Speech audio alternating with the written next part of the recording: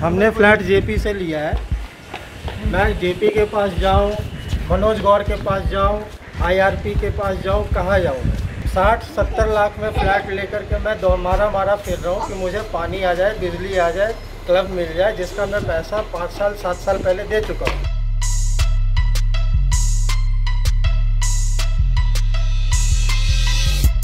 ये देखिए ऐसे खोद के रखा हुआ कोई भी छोटा बच्चा इसके अंदर गिर सकता है। जिसको चोट लग सकती है बट पिछले एक साल में कम से कम पाँच घटनाएँ हो चुकी हैं जिसमें बच्चे हॉस्पिटल गए और अपना इलाज करवाए इनके इनके कान पे जू नहीं रेंगता है कुछ भी।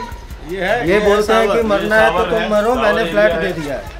यहाँ पे तो अंदर आने लायक नहीं है देख सकते हैं कॉमन रूम है मेरे ख्याल से। बनने के बाद ये क्लियर होगा कि ये फैसिलिटी के नाम पे जेपी ने ये दिया हुआ है।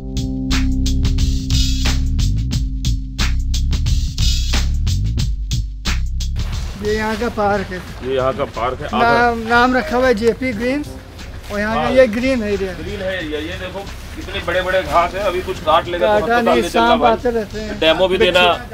ये ये देखो। आप ये स्थिति है यहाँ पे घास के बीच में गड्ढे हैं इतनी इतनी बड़ी घास है।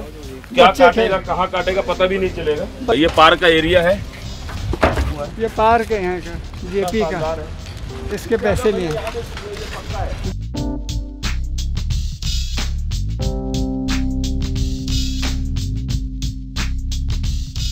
जो फैसिलिटीज़ आनी थी जैसे कि बास्केटबॉल कोर्ट बैडमिंटन कोर्ट ऐसा कुछ भी यहाँ पर नहीं इधर है इधर लिखो ये आप इधर आप ये पूरा कचरा फैला ये हुआ है बच्चे आप बच्चे देख अगर आप देख सकते हो यहाँ बच्चे खेलते हैं इस तरह के पाइप खुले हुए ये गड्ढे हैं और इस तरह के है बच्चे गिरेंगे तो उनका सर फटेगा हाथ फटेगा एक दो तीन चार। ये पूरे पूरे पूरे में आप देखो इस तरह के इन्होंने पाइप और ये भी नोकीले हैं और जंग खाए हुए हैं देख लो ये ये इनकी धार है। हमारा एग्रीमेंट था जिस एग्रीमेंट को हमेशा बात की जाती है कि जो ऑन पेपर है ऑन पेपर के अकॉर्डिंग हमें वो फैसिलिटी नहीं मिल रही हैं। कि अभी जैसे स्विमिंग पूल हो गया है जो स्विमिंग पूल है अभी भी जो है वर्किंग नहीं है। बैडमिंटन कोर्ट है आई थिंक बास्केटबॉल कोर्ट है आई डोंट नो कि बास्केटबल कोर्ट है या क्या है लेकिन ये कहीं से नहीं लग रहा है कि यहाँ पे बास्केटबॉल खेलने जैसी कोई चीज़ की पॉसिबिलिटी होएगी। और यहाँ की जो हालत है करंट इतनी बुरी है हमारी जो लिफ्ट है लिफ्ट अभी चल भी नहीं रही ऑपरेशनल भी नहीं है। लिफ्ट और मैं पंद्रह फ्लोर पे रहता हूँ लिफ्ट खराब हो जाती है मैं आता जाता हूँ मेरे जो काम करती है मेड कभी ऊपर आ भी नहीं सकती पंद्रह फ्लोर कहती है कि आपका फ्लोर की लिफ्ट खराब है और ऊपर चढ़ भी नहीं सकते।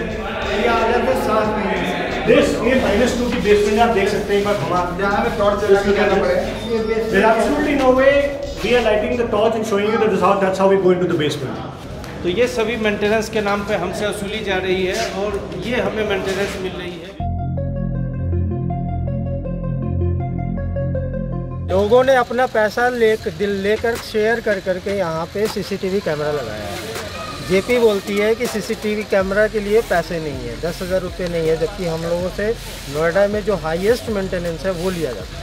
हाँ हमारा मेंटेनेंस का भी कोई हिसाब किताब नहीं कि हमसे इतना ज़्यादा मेंटेनेंस क्यों लेते हैं, किस हिसाब से लेते हैं? बस ले रहे हैं तो ले रहे हैं, बोले साहब, ऊपर से आया तो हमने लेना है। हमें कोई डिटेल नहीं दे रहे कि हमारे मेंटेनेंस का कर क्या रहे हैं ले किस बात के लिए इतने पैसे रहे आई हैं थिंक उसका ऑडिट होना चाहिए। जब भी Audit होना चाहिए। मेंटेनेंस का पैसा हमसे लिया जाता है प्रॉपर उसका ऑडिट होना होता चाहिए क्या? हम जितने लोग भी यहाँ पे जो पैसा दे रहे हैं उसका यूज़ क्या हो रहा है? मेंटेनेंस के नाम पर इतना पैसा वसूला जा रहा है और ये सुविधा अगर मिल रही है तो सर्टनली कुछ फ्रॉड है यहाँ।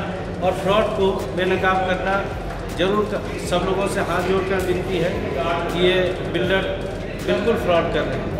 सारे रेजिडेंट्स के साथ फ्रॉड है और यहाँ पे जो रह रहे हैं लोग, सबसे बड़ा उनका उनका लाइफ जो है खतरे में है। किसी दिन कोई इवेंचुअलिटी हो सकती है। कभी भी आग लग सकती है। न तो यहाँ पे कोई सेफ्टी का कोई सिचुएशन मैंने अभी आपको दिखा दिया था कि सेफ्टी के जो इक्विपमेंट्स है, किस तरह से, किस हालत में है। जिस दिन ऐसी इवेंचुअलिटी होगी, पता नहीं भगवान भरोसे है, हम लोग कैसे जी पाएँगे। मैं निवेदन करूँगा जुडिशरी से जो भी आर अथॉरिटी है आईआरपी है ताकि इस पे एक्शन ले कड़ा कदम उठाए ताकि जो रेजिडेंट रह रहे हैं उनको फैसिलिटी मिल पाए। चार हज़ार फ्लैट उन्होंने डिलीवर किए उसका इतना बुरा हाल है कि एक साल के बाद फिर से वो बनाना पड़ेगा उनको। मेंटेन कर दे वही बड़ी बात। जुडिशियरी से हमारा ये रिक्वेस्ट है कि तुरंत इंटरवीन करें। जो लोग सैकड़ों की संख्या में एक अपार्टमेंट में रह रहे हैं किसी न किसी दिन हादसा हो जाएगा यहाँ पे।